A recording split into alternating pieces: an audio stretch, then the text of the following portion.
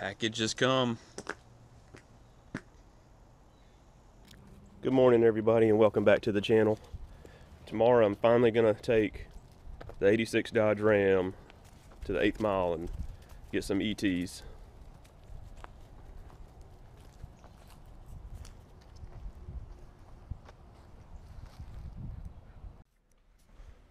Yesterday I got a package and I'll show you that in a minute but what needs to happen today is need to do a little work on the truck get it ready for tomorrow um, got the trailer over there. Got to get that one unloaded.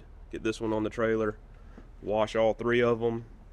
Hook the blue truck to the trailer, and we'll be uh, we'll be ready. So let's get started on this thing. This came in the mail yesterday. It's some parts for Big Red help out with tomorrow, hopefully.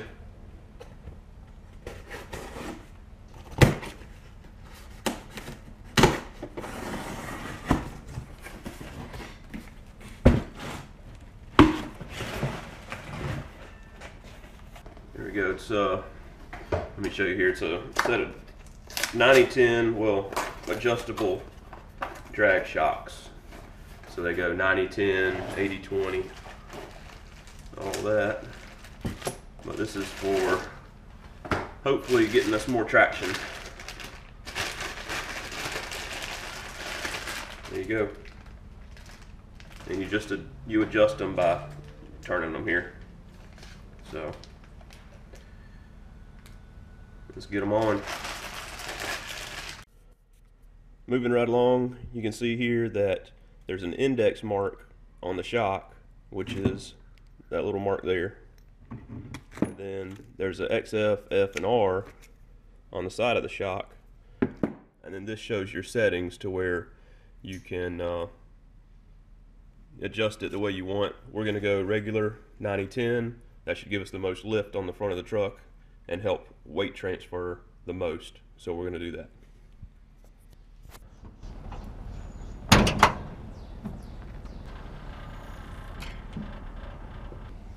One thing I did a couple weeks ago was rewire this thing. I took out, this used to have a lean burn computer here. And whenever I swapped motor out a while ago, all the wiring was still here. And as you can see, I need to buy some more loom to cover it up. But all the wiring that was to the lean burn is now gone. I put a little mini torque starter on it, took the big starter off, you know, save five pounds or so, and just try to clean it up a little bit. Now we need to get these shocks off. I'm gonna have to lift it up, get the top bolt off, and then lift it up so I can get the two bottom ones, drop the shocks out, put the new ones in, shouldn't take long. Check all the tire pressure, maybe change the oil. That's it, should be ready.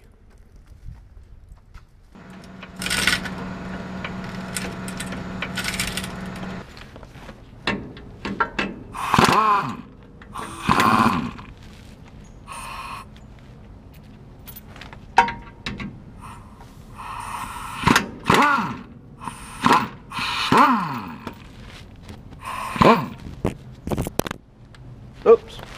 GoPro. Yep, came right out.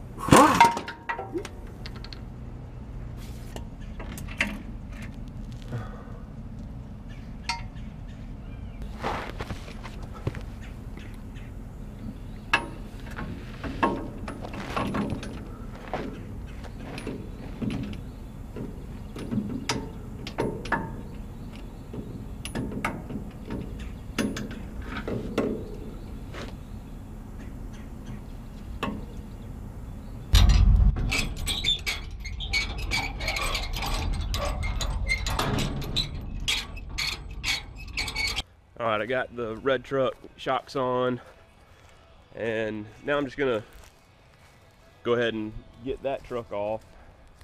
Got it hooked up, but I'm gonna get the little Dakota off, swap trucks, and then I'm gonna unhook again so I can take the truck, get cleaned. Also, I need the, uh, use the blue truck to do some stuff today.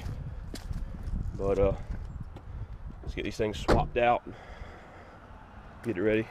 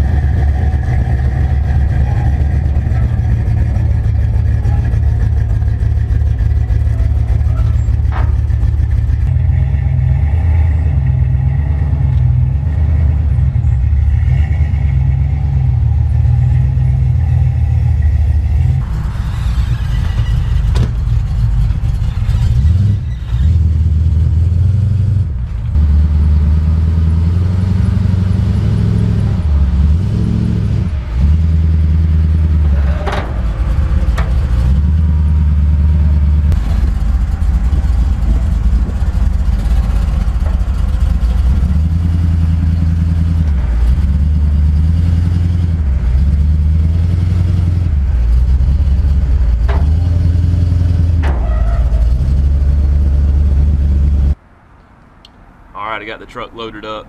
Now I'm just checking the tire pressure in the trailer because uh, you know you want this thing that it's got what 3,600 pounds on it or so. So I want to make sure it's towing properly and not eating up the tires.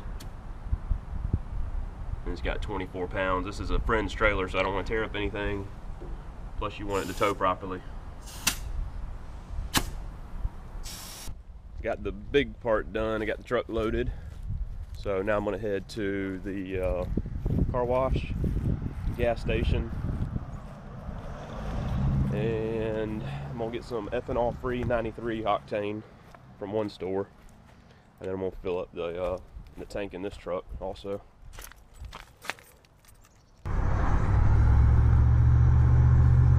Big wheels, big wheels. All right, so I just came down to the far south side of Tallahassee because uh, this Sunoco here has race gas and ethanol free 93. So, uh, red truck's only running about uh, nine and a quarter, nine and a half to one compression. So I'm just gonna get some 93 ethanol free, which I may or may not use because the truck's got a little bit of gas in it now. So I'm gonna get a few gallons of that. Four big rims.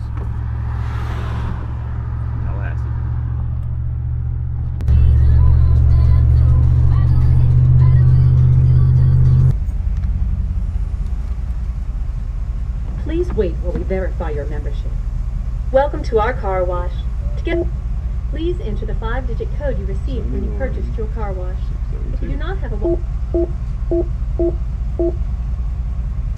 You are now ready to enter the car wash. Please proceed by following the directions on the signs ahead. And thank you again for your car wash purchase.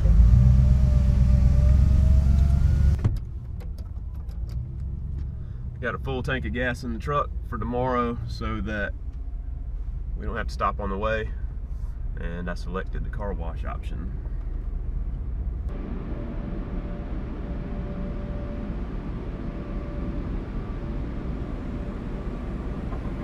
Oh yeah.